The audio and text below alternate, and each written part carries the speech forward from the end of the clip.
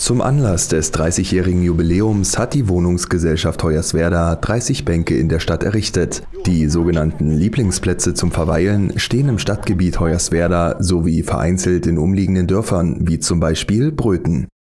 Das Projekt entstand in Zusammenarbeit mit dem Marketingverein Familienregion Heu und solle eine Alternatividee zu den ausbleibenden Feierlichkeiten in 2021 bieten, wie Steffen Markgraf, Leiter der WGH, berichtet.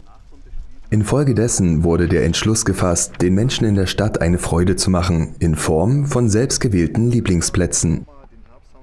Mieter und Bürger konnten dabei mitentscheiden, an welchen Orten die Bänke aufgestellt werden sollten.